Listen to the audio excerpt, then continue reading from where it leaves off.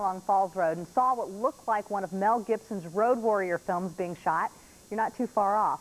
A Baltimore portrait studio was hired by Femme Fatale magazine out of Chicago to shoot the cover of their next issue. Photojournalist George Stover has a look behind the scenes of this day-long shoot. Okay, let's do one more time. This evening we're shooting a magazine cover for Femme Fatale magazine, a Chicago-based magazine that deals with the science fiction, fantasy, and B-movie genre. And they had contacted us a few weeks ago to be their East Coast photographer. I think one of the reasons why they wanted to work with Studio 1209 is because we are completely owned and operated by women. He complained that the last time they did a cover, what he saw from the transparency to the final printing lost a lot of vibrancy and was very dark. And I told him it was probably out of the color separation or the printing itself. They are trying with this magazine cover here to make women appear more dynamic, stronger, more empowered. And they felt that a woman's point of view would be ideal.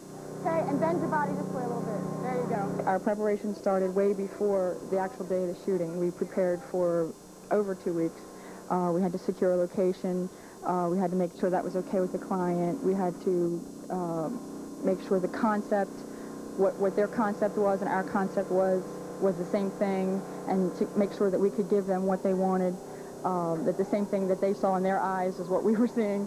That's perfect. That's what I want you to do. Location shooting, uh, you have to take basically your whole studio plus extra stuff along with you because you, you never know what's going to happen. It was just too much work. I just, I just want to make sure the colors are working and everything. We're good. Many people don't realize how long it takes to do this sort of thing. You see a magazine cover and you see it for an instant and it makes the impact, but it takes weeks of preparation and an entire day, probably over 15 to 16 hours to produce something like this.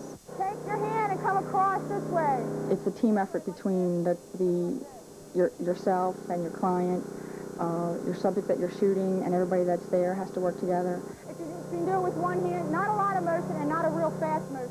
You make sure that it's right, and everything is, is, is a go, and then you wait until the light is exactly right.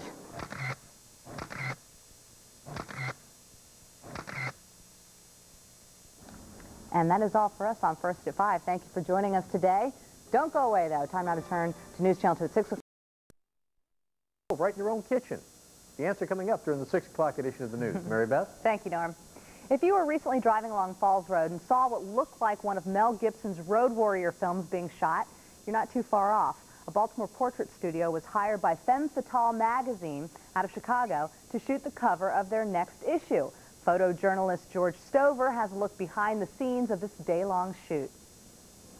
Okay, let's do one more time. This evening we're shooting a magazine cover for Femme Fatale magazine, a Chicago-based magazine that deals with the science fiction, fantasy, and B-movie genre. And they had contacted us a few weeks ago to be their East Coast photographer.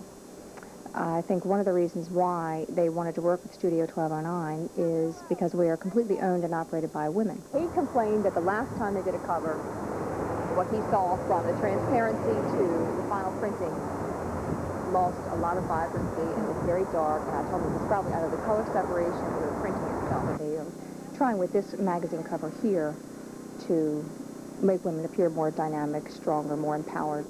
And they felt that a woman's point of view would be ideal. Okay, and bend your body this way a little bit. There you go. Our preparation started way before the actual day of the shooting. We prepared for over two weeks. Uh, we had to secure a location. Uh, we had to make sure that was okay with the client. We had to uh, make sure the concept, what, what their concept was and our concept was, was the same thing, and to make sure that we could give them what they wanted, um, that the same thing that they saw in their eyes is what we were seeing.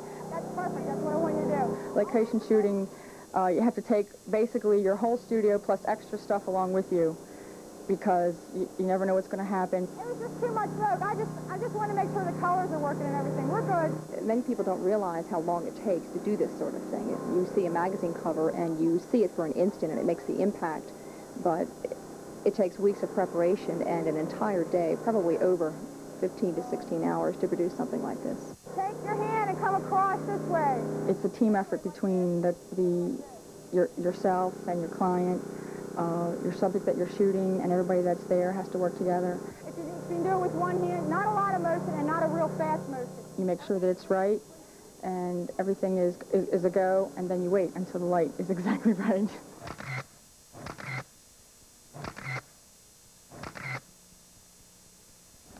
And that is all for us on First at 5. Thank you for joining us today. Don't go away, though. Time now to turn to News Channel 2 at 6 o'clock.